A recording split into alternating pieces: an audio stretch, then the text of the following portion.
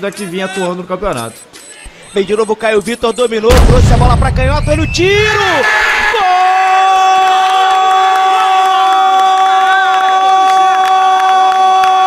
Gol! Samuel Granada, voltaço na frente, na frente em Goiás! Anderson. Henrique, Samuel Granada pintou, pode pintar o terceiro, bateu!